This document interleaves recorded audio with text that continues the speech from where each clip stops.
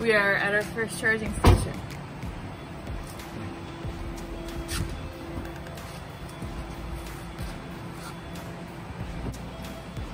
Oh, it's great. When we pulled in to charge at our first supercharger, we bumped into a guy who ended up being from Connecticut and runs the owners club for Teslas. He gave us a card and we get to join. We got about 15 minutes of time while the car is charging. Harrison, it turns out, very much loves escalators, so we're going up and down the escalators. One, here we go, two, three. Good job. If you happen to be traveling with a lot of stress, this airport comes complete with a life-size Zen garden.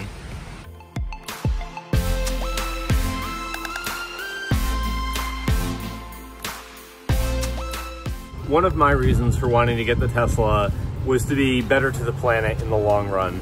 We've had it for less than 24 hours and I already feel just bad driving to a gas station, getting this hose thing and filling my car with a combustible explosive liquid.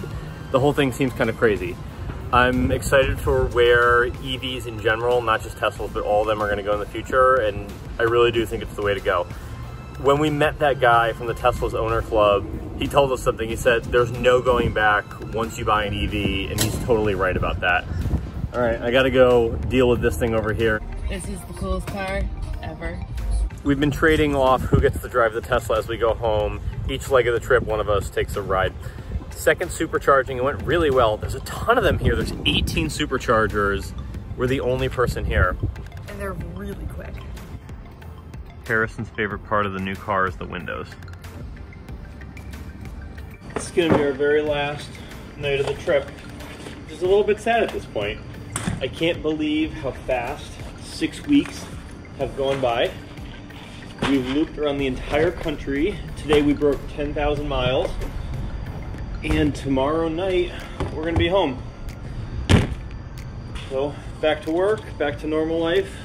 I can say though, that I'm looking forward to finally sleeping in my own bed again.